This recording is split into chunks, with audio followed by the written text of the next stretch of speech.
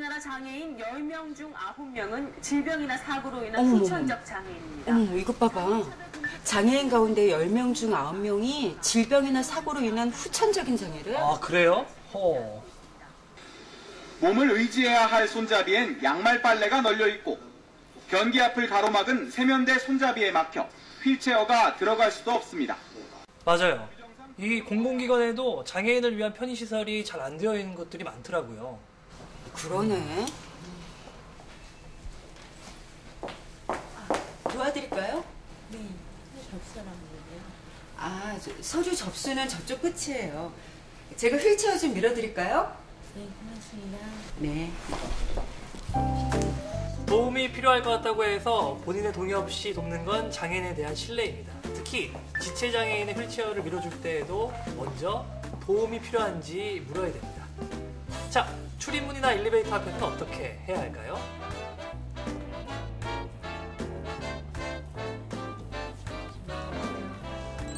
출입문이나 엘리베이터 앞에선 몸을 부축하거나 휠체어를 밀어주는 것보다 출입문이나 엘리베이터 문을 잡아주어 본인이 천천히 문을 통과하게 하는 것이 안전합니다.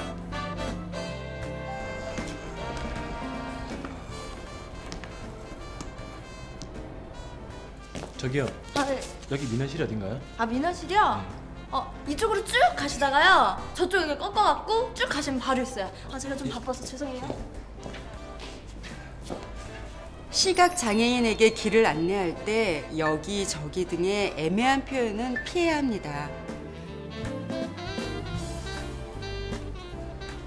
아, 무슨 일이시죠? 제가 여기 직원인데요. 아 그러세요? 여기 민원실에 볼 일 이 있어서 그러는데 아, 민원실이요? 지금 서 계신 방향으로 1m 가신 다음 오른쪽으로 2m 가시면 민원실이 있는데요. 마침 제가 거기 가고 있으니까 같이 가실까요? 또 시각 장애인을 직접 안내 보행할 때 팔을 직접 잡는 것은 실례고요. 자신의 팔을 시각 장애인에게 내줘야 합니다.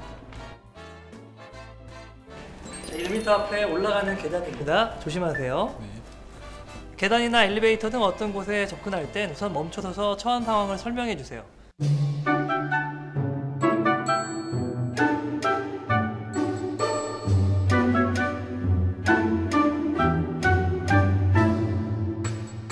장애에 대해 알고 이해하고 실천하기. 우리 모두 함께해요.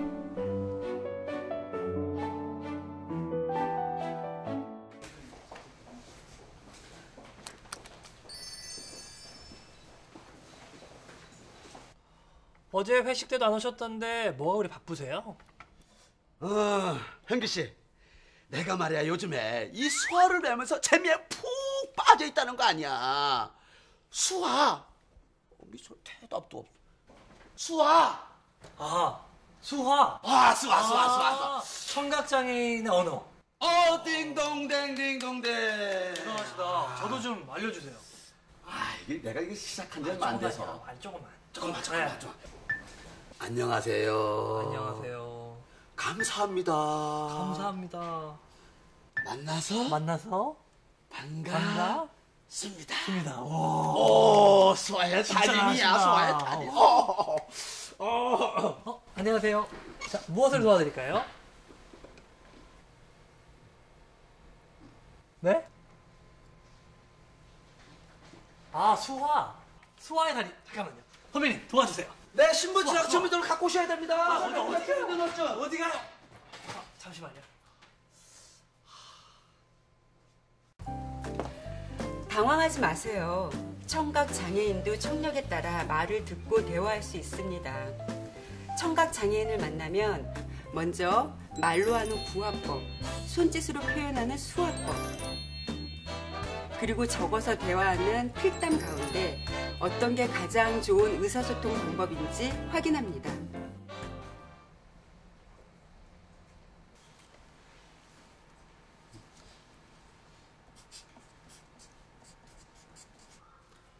아, 주민등록 등본이 필요하시다고요? 알겠습니다. 자, 알겠습니다.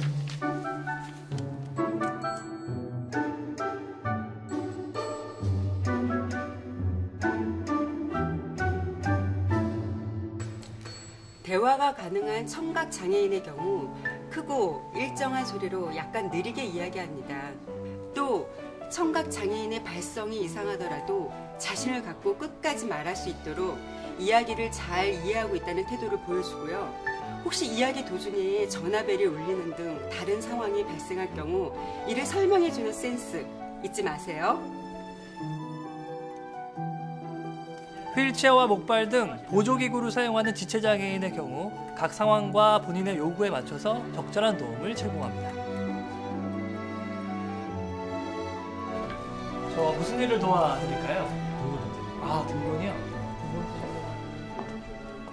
시각 장애인의 경우 먼저 나서서 무슨 일로 왔는지 묻고 민원을 해결할 수 있도록 도와줍니다. 웃음이 가득한 세상. 모두가 행복한 아름다운 사회. 우리가 함께 만들어 갑니다.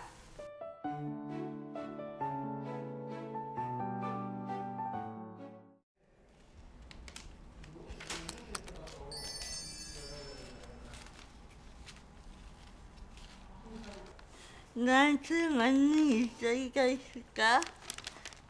일자리 희망 프로젝트? 요거 한 번만 좀 작성해 주세요. 네, 행복. 네, 행복동 주민센터입니다. 일자리 희망 프로젝트 있던데요. 뭐라고요? 일자리 희망 프로젝트. 아, 제 거 먼저 좀 해줘요 좀. 잠시만요. 아, 뭐- 뭐라고요? 잘 안 들리세요? 청각장애나 언어장애 등 의사소통이 자유롭지 못한 장애인에게서 전화가 왔을 때 어떻게 해야 할까요? 먼저 상대가 언어장애가 있음을 알아채고 여유롭게 대처하는 게 필요하겠죠? 언어장애가 있는 장애인의 대화 속도는 비장애인만큼 빠르지 않기 때문에 장애인의 말이 확실히 끝날 때까지 기다린 다음 천천히 말을 해야 합니다. 필요할 경우에는 화상 전화를 통해서 수화 통역이 가능함을 알려주세요. 다시 한번 상황을 살펴보겠습니다. 거기 행복 동산소 맞죠? 네, 무슨 일로 전화하셨나요? 저기, 저기, 천천히 말씀해 주세요. 일자리 희망 프로젝트 문의하려고요. 아, 네. 장애인 일자리 희망 프로젝트 신청하고 싶으시다고요? 먼저 신청 자격이 되는지 알아봐 드릴게요.